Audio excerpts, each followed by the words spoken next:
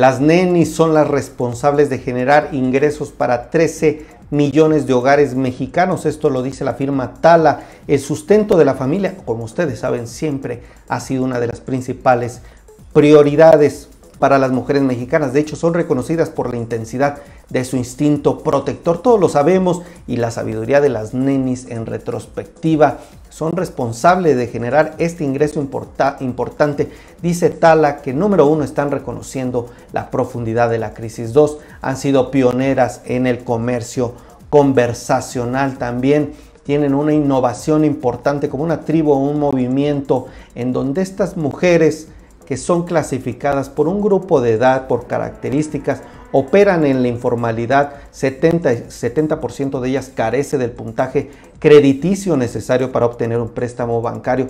En realidad son vendedoras que operan dentro de diversas redes o en el comercio informal, pues así se les llama a las nenis y están teniendo una importante información de acuerdo con Tala, que es una empresa de tecnología móvil y ciencia de datos que está informando cuáles son estas tendencias que tiene el sector de las nenis a nivel país.